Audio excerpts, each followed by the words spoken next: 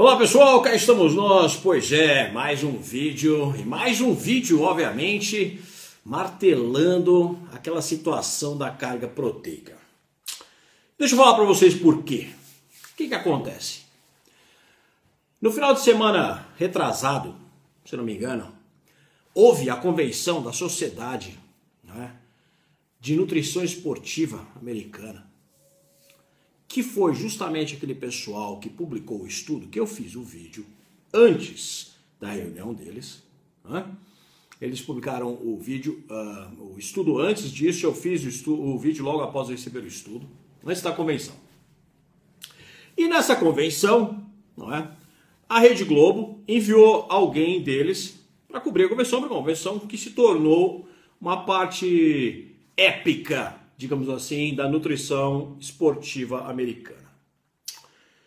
E lá eles validaram tudo o que o estudo deles havia dito e que eu coloquei aqui para vocês, portanto, validaram tudo que eu havia dito através do estudo deles. Óbvio, eles não iam publicar um estudo e depois falar o contrário lá na reunião deles, né? Bom, a Rede Globo foi lá, voltou e fez então aí uma publicação que muitos me enviaram, não sei se chegaram a ver, sobre tudo aquilo que eu havia falado ter sido validado. Só um porém, não é, que eles usaram no artigo deles aqui, a referência a whey protein, ok?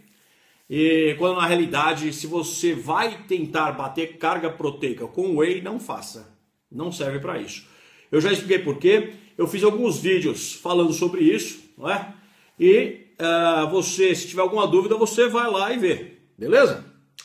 Mas por que, que eu estou fazendo esse vídeo? Não era para falar sobre isso, mas já que a gente falou, estamos aqui dando continuidade. Um grande amigo meu, que vai se tornar, vai se tornar pela quantidade de títulos e de QI que ele tem, uma sumidade aqui no Brasil, um nome a ser reconhecido, com uma visão internacional, me chamou.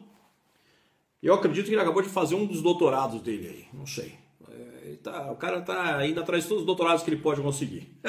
Tanto na área de nutrição, quanto na área de biologia, quanto na área de educação física. Ele já tem vários, química, não sei o que mais. Eu pedi a conta. Não vou falar o nome dele ainda, porque eu não pedi permissão. E ele me questionou sobre a necessidade da carga proteica durante o treino. E ele tinha um parecer sobre o assunto, né? e a gente bateu um papo. Como sempre, muito positivo. E eu encerrei a conversa mandando para ele um estudo que eu vou compartilhar com vocês aqui agora, de 2014, tá? De um cara chamado Luke Van Loon. Quem que é Luke Van Loon? Com o nome de estrela de cinema. é um cientista holandês uh, que publicou um artigo em 2014, finalzinho de 2014, no, no no Jornal de Medicina Esportiva holandesa, muito bem reconhecido, porque os holandeses, holandeses têm uma equipe esportiva muito forte nas Olimpíadas, em todos os esportes, inclusive no futebol, como vocês sabem. E o que, que esse cara fez? Ele fez uma. Ele pegou 76 estudos e fez uma, uma sumarização com o próprio estudo dele, referindo-se a 76 estudos também como referência base para solidificar aquilo que ele estava apresentando. Pesquisador e um cientista fantástico. O que, que ele descobriu? Não é? Nós já sabemos, de todos os vídeos que a gente conversou aqui, que uh, proteína pós-treino tem que ser usada. Nós já sabemos que proteína é essencial. Nós já sabemos que carga proteica Vou colocar aqui a listagem dos últimos vídeos que eu fiz, se você não acompanhou para você ver. Inclusive no YouTube tem um playlist. Vai lá e checa os títulos. Debaixo desses títulos tem vários vídeos com isso. E se você não conhece no YouTube, o pessoal do Face já sabe, quando você clica na descrição do post, abre aonde tem os estudos. Beleza? Galera do YouTube aí, para ficar alerta. E eu ia pedir a vocês, quando alguém perguntar isso, ajudem os novos e passa informações, as informações para eles. Então vamos lá. Então a pergunta que fica é: e durante o treino? Ajuda? Muita gente me via tomando leite, me via tomando. É, agora eu tomo aminoshot durante o treino. Ah, e aí eu Né? Falei, bom, a galera tá perguntando se ajuda tal, por que, que eu tomo, então tá aí. O estudo do Luc Van Loon vai lá e valida isso. Mas eu quero que vocês saibam o seguinte: eu não tenho a, a varinha mágica para todas as informações corretas. Não. A minha experiência nessa área ela é extensa.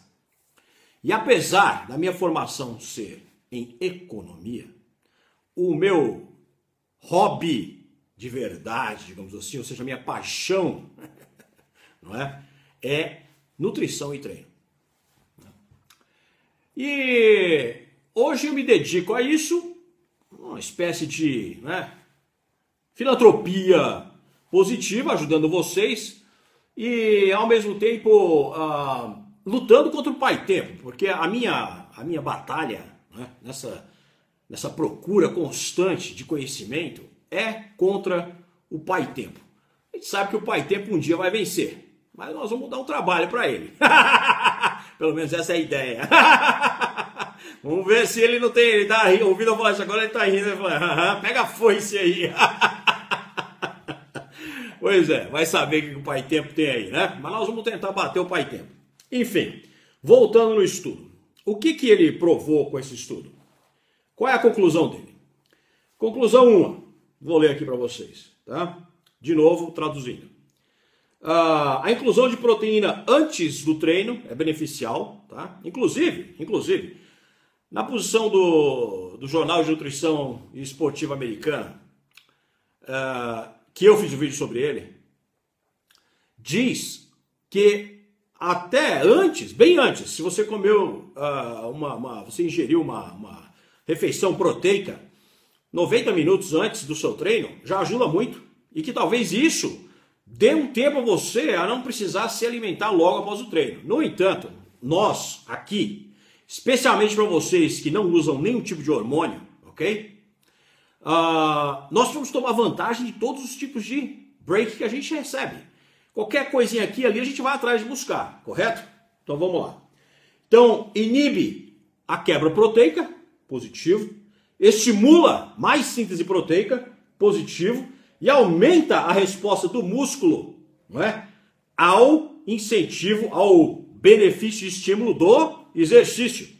Então, amigos e amigas e amigas e amigos, doutores e doutoras, o que que se conclui do estudo do nosso amigo Luc Van Loon?